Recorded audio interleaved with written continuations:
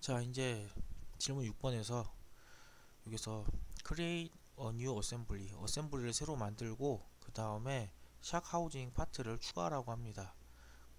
그러면 이제 이게 assembly 여기 들어왔거든요. assembly 그 다음에 shock housing을 요거 shock housing 요거 있죠? 요거를 추가 파트를 추가합니다. 이렇게.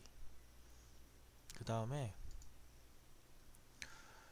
어 여기 보시면 이제 이 new assembly에서 요걸 불러온 거를 이제 shock assembly로 이름을 명명해 주라고 하네요.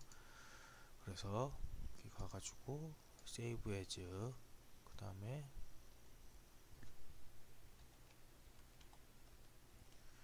샥 샥으로 저장을 하면 네, 저장을 하라고 합니다. 샥으로. 네, 저장을 했고요.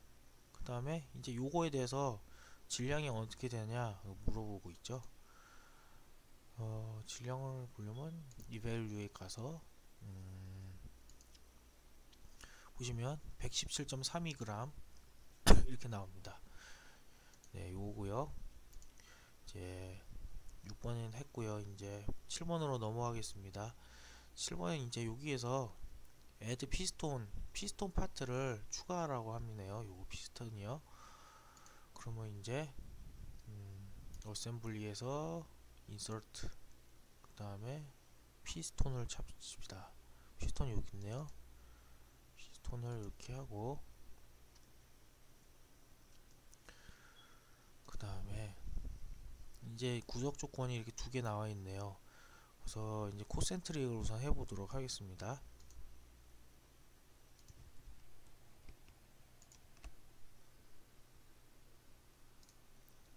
센터링 했고요.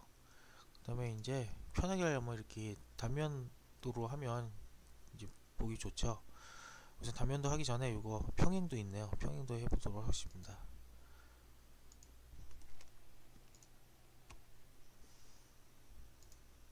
예, 했고요. 그 구속조끼 어떻게 들어갔냐 보면 여기 평행이랑 여기 화살표 하면 이렇게 두 개 보인 볼 수가 있어요. 그 다음에 이제 요거 누르시면 섹션 뷰거든요 단면?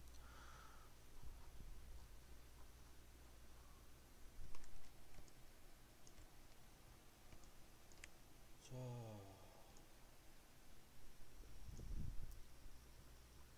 무척 당황스럽네요.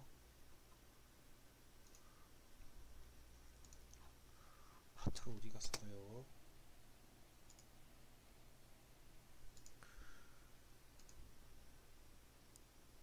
네 화살표를 이렇게 해가지고 이렇게 당하시지 마시고 이렇게 해서 하시면 됩니다. 네 이렇게 해가지고 어떻게 했냐고요? 어, 어, 스페이스바를 누르면 이렇게 되거든요. 이거 누르신 다음에 그 파트에서 설, 누르신 다음에 그 다음에 section view 여기 눌러서 이렇게 들어왔습니다. 화살표로 이렇게 어, 담, 그 거리 평면 거리를 조정해 줄 거예요? 그래서 이렇게 됐고요. 네. 그래서 이제 mate를 간 다음에 이제 요거를 클릭해 주면 돼요. distance가 거리잖아요. 거리를 이렇게 40으로 해주고 40 맞죠? 여기 40 그러니까 우리서 50부터 이제 설정해 주기 위해서 이제 이렇게 하면 이제 피스톤이 뒤로 좀 빠졌죠? 40 하려고? 네. 이게 됐습니다. 자 구속 조건이 이렇게 3개 들어갔죠? distance까지 해가지고. 이제 section view다 했으니까 이제 원상복귀로 됐고요. 자 그래서 요 mass가 이제 질량이 어떻게 되냐 물어보고 있죠. 그러면 이것도 evaluate 가서 mass property 가서 358.19g이 나왔죠. 358 358.19g C 답이 정답이 C가 되겠습니다 이렇게 해주시면 되고요. 네,